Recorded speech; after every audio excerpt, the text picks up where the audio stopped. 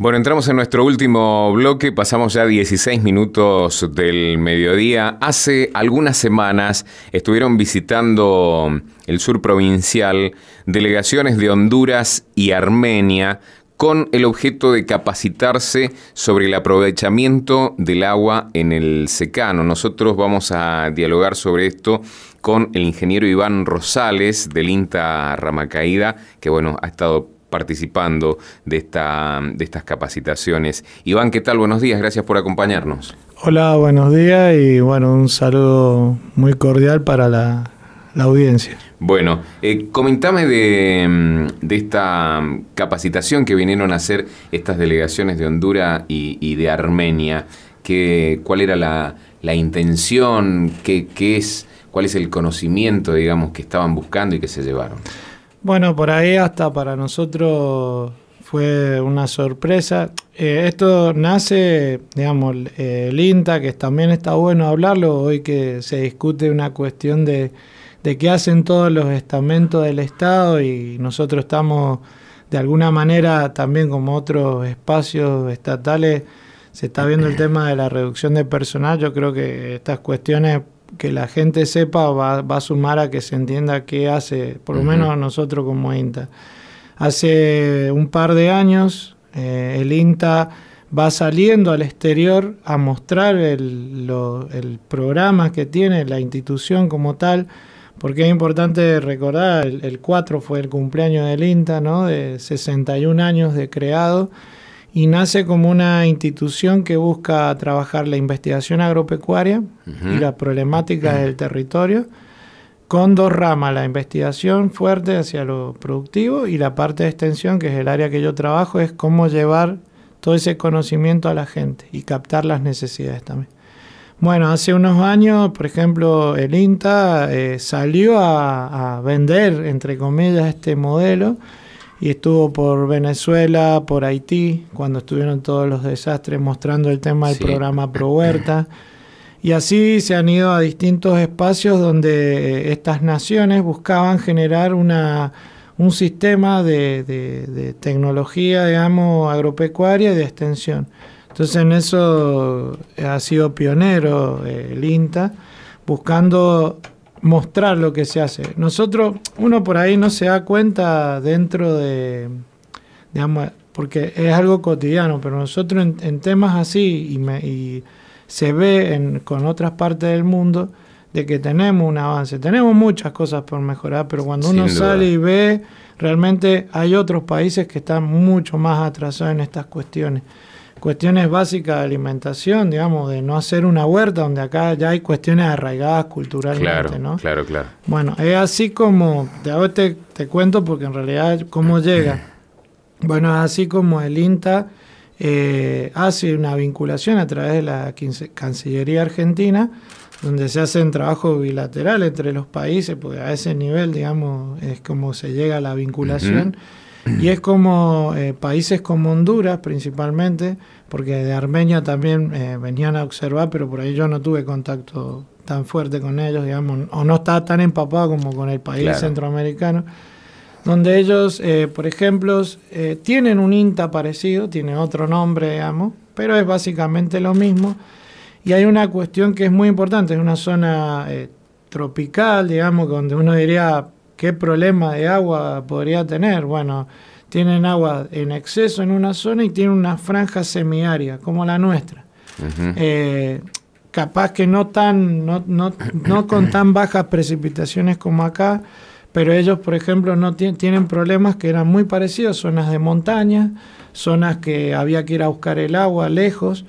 Y bueno, y una cosa que a uno le sorprende, bueno, primero recibir técnicos de otra que, que reconozcan tu trabajo. En, en, hará tres meses atrás fue una delegación argentina del INTA, muchos compañeros míos fueron por el tema de semilla también, claro. un tema muy buscado en el mundo. O sea, recordemos que el, el gran eh, informador de toda la, digamos, de todo lo que hace la planta, digamos, como el ADN de la planta es la semilla. Entonces, ¿cómo buscar tener eh, semillas que sean que se puedan, no, no tecnológicas, sino que permitan alimentar a la gente. ¿no? Eh, entonces todo ese proceso de, trabajo lo ha hecho el INTA. Tiene por ahí una falencia que tenemos, la cual me incluyo, porque nos pasa, no comunicamos todo lo que hacemos. Hay ahí, habemos algunos que por ahí usamos malas herramientas. Esta, esta noticia en sí la levantamos en el Facebook y por eso fue una forma de comunicarlo pero realmente a veces eh, la gente, digamos, no conoce estas cosas. Y yo creo que eso nos valida mucho a nivel mundial, porque de verdad que se venga a ver el trabajo, ah, también lo llena de orgullo uno, porque vinieron a ver, eh, fueron a Jujuy, donde hay, hay técnicos de INTA que nosotros aprendimos ahí. Nosotros le decimos Coca, pero es un técnico muy reconocido que fue a capacitar allá y él fue uno de los que dijo, vayan a ver el trabajo ahí en el sur porque les va a servir, digamos, para que vean. Y bueno, por eso vinieron la delegación y estuvieron en, la valle trabajando la cuestión de semillas, bueno, y con nosotros el tema de, captación de agua de lugares, por ahí para entrar ahí en el tema, de, gente que pues, te decía de chiquito tenía que ir a buscar en un tarro agua pasando una montaña, yo te digo, cuando lo vas y lo caminás, una vez ya te cansa, porque la verdad que hay que andar con un tarro colgado. Seguro. Eh, y estamos hablando de que, a ver, la gente que escucha, vos vas y abrís la canilla de tu casa. Bueno, eso en hay lugares y vecinos nuestros, 200, 150 kilómetros, que no lo hace. Digamos, y todos estos proyectos, que, que también está bueno contarlo, es una iniciativa que, que viene a través del Pro Huerta, que lo coordina el INTA y estamos haciendo llegar a, lugares agua, digamos, a la gente. Que hoy, mira el momento en que vivimos, sigue habiendo gente que no tiene esa facilidad. A veces no tienen acceso porque no hay agua, porque nos ha pasado algunos casos, y en otros está, pero está lejos o no accesible, ¿no? Así que básicamente... Ellos, con, por supuesto, con, con, deficiencias mucho más marcadas en ese, en ese aspecto que, que nosotros, lógicamente. Sí, sí, porque hay una... Eh, no hay, no hay, no tienen la experiencia, digamos. Acá lo bueno que ellos venían a ver, bueno, se les fue a capacitar estos técnicos profesionales en temas de captación de agua, los cuales nos han visitado, también eso es importante. El INTA está en todo el país y uno puede acceder en algunos casos a algunos técnicos que te vengan a ayudar. Nosotros, desde el área de trabajo nuestra, no teníamos, eh, digamos, la experiencia de hacer uno por ahí lo puede estudiar o lo ve, pero hasta que no te toca hacerlo. Y también, ¿por qué nace? Porque había una necesidad en la gente. O sea, una de las primeras cosas que sale es, mm, queremos el agua, necesitamos el agua. Cuestiones tan básicas como tener una canilla, aunque sea en la casa, o un baño, digamos. cosas que son naturales para mucha gente en la ciudad, pero hay zonas que no, digamos, ¿no?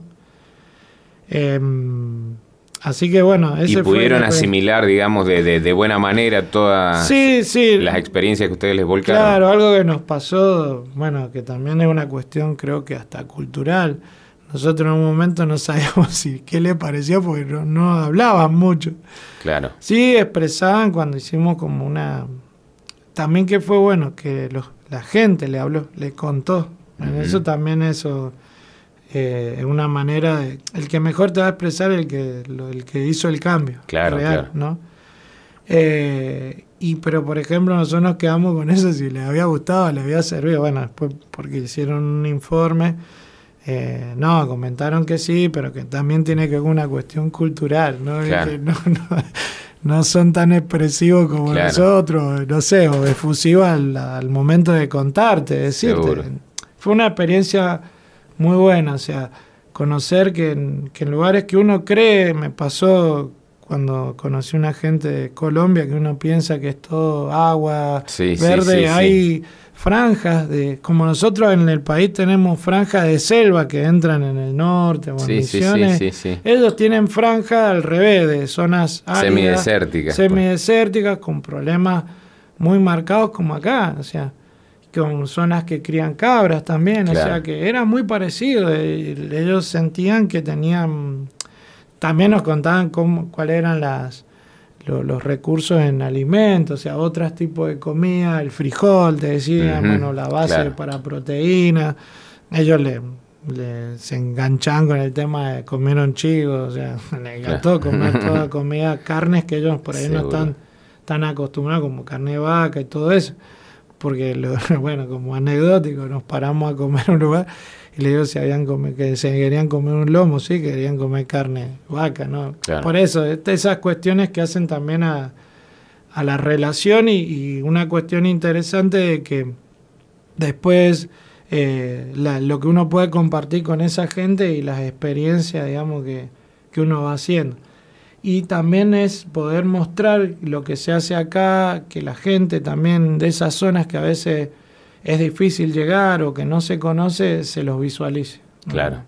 Entonces, yo creo que ese fue un fue algo interesante, algo que nos sirvió mucho. Y que sin duda no va a terminar acá, o sea, me parece que ese es parte de un, de un plan de, de, de, abrir, digamos, las experiencias a, a otras eh, comunidades que por ahí este, las necesitan, ¿no? Sí, mira, básicamente estos proyectos contaron, nosotros le damos proyectos especiales pro huertas de agua, y lo que se basaba era, por ejemplo, eran a veces hay vertientes en el campo, o sea, en vertientes como si saliera del suelo de un solo agujerito, o un ojo le llaman en el campo. Claro.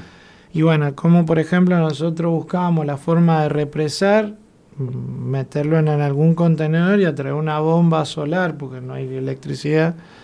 Uno como mandaba el agua, capaz que 200, 300 metros, hasta una canilla en una casa o un tanque. Eso podía ser para hacer huerta. En otros casos se hicieron tanques australianos para juntar, ya no, ya no desde, desde una vertiente de un solo punto, que le llamamos nosotros, sino difusa, que aparecen como en Las Vegas, bueno, el que conoce Mallines, es como hume, humedales, Exacto. uno captaba el agua. Bueno, eso, a ver, ¿qué es lo, lo, difícil de esos lugares? Que no hay un camino. Una cosa que nos pasó, que bueno, eso también valorar el trabajo de la mujer en el campo también, ¿no? Eh, todo el trabajo, las más interesadas en el agua eran las mujeres en sí, digamos. Tuvimos que llevar un tanque con una escalera por una, como una cornisa de, Así que fue bastante peligrosa la experiencia, porque podíamos caernos con, tambor y todo. Pero, pero bueno, se, se logró hacer todo eso. Ahora hay nuevos proyectos, por ejemplo, está bueno para comentarlo en la zona de, del Nevado y en la zona del Salitral, de, que sería el del costado eh, este de la laguna Yancanelo, para que la gente se ubique, una zona poco visitada, muy em, son difíciles esos lugares y bueno, ahí la diferencia es que no hay agua. Y si hay agua es agua salada, muy salada, es yo le digo es perdón, no, pero es el mejor purgante que he conocido en la vida. salitre terrible, claro. A la media hora estás muerto del estómago. Y bueno, esa gente y los animales acostumbrados a vivir con eso, porque una cosa que aprendí ahí, creo que también está bueno contarle a la gente, o sea, la gente me muchas veces lo antes lo he pensado y lo he escuchado en mucha gente, ¿cómo puede vivir en esos lugares? Bueno, yo una sola vez una chica dijo una cosa que lo aprendí. Eh, dice, ahí nosotros somos felices. Ya está. Claro, ya está. O sea, no, no, no resiste ningún tipo de discusión más porque te están enseñando que ya está en eso. Bueno, y en esa zona lo que vamos a trabajar en realidad cambia conceptualmente, también es nuevo para nosotros el trabajo en esa zona, porque en realidad lo que hay que hacer es cosecha de agua. La cosecha de agua es con las lluvias, entonces había que mejorar los techos. Otra problemática en las casas. Lo comentábamos nosotros más temprano acá, este, de, de, de, ese tipo de, de sistemas que muchas veces se, se, implementa en el campo donde falta agua dulce, la recolección del agua de lluvia, este, que normalmente viene de los techos eh, por canaletas y van a un aljibe, este, para tener el agua para consumo, digamos, eh, para tomar que sea agua dulce. Para el resto usan el agua salada, el agua, salada. El agua del pozo, este, pero para tomar agua dulce. Sí, no, y te digo que nos pasó varias veces cosas de que, a ver, esto pasa, bueno, ahí es jurisdicción de, Malargüe, eh, no conozco a veces casos para este lado, porque por ahí Malargüe tiene más zona de puestero, digamos. Sí, sí, sí. Pero, por ejemplo, estando yendo a la zona a trabajar un año y cuatro meses sin que el camión de la municipalidad llegara con agua potable. Claro. Y ver que tenés que pagar un taxiflé que son carísimos para que llegue ahí con 200 litros de agua. La verdad que nosotros creemos, este lo estamos trabajando ahora. Es complejo, digamos, porque es lejos, lejos, es, son zonas muy difíciles de llegar. Pero bueno, creemos nosotros que bueno, cuando se larguen las lluvias de verano podamos empezar a tener... A ver, no vamos a suplantar nunca el agua que posiblemente lleve el municipio. Ahora se ha, se ha mejorado, quiero aclarar. Claro, pero por lo menos para tener... En, es que ellos ya lo hacen a la práctica, poniendo bidones, ollitas y después, a ver, hay que ahí empezar a darte cuenta de cómo tenés que cuidar el agua, la necesidad, según algunos cálculos que hay, vos como mínimo necesitas 7 litros de agua. Cuando saquemos la cuenta de la cantidad de agua que gastamos nosotros acá en la ciudad, hasta 50, 80 litros por persona. Sí, sí, sí cuando vemos en zonas como esa, porque tiene que ver a la distancia que vos tenés el agua, nosotros pensamos, hicimos un par de cálculos que con unas lluvias normales de Mendoza y teniendo de esa zona, ¿no? Teniendo algunos reservorios, porque hay que armarlo, como decía vos, canaleta y todo eso, realmente podemos lograr de garantizar esa cantidad de agua para una familia de cuatro o cinco personas. Por lo menos la zona en el tiempo estival de, verano, vamos a decir. Seguro. Que es cuando más consumimos. Pero bueno, la verdad que es trabajar, eh, por ahí suena hasta lejano, pero esto pasa acá. No estamos hablando de zonas lejanas. Y bueno, por lo menos nos damos cuenta de que de que la gente lo ha recibido muy bien y está muy contenta con todo ese tema. ¿no? Iván, te agradecemos la, la, participación, la visita y bueno, no va a faltar oportunidad para seguir hablando de, de este tema. Bueno, ¿eh? listo, muchas, gracias.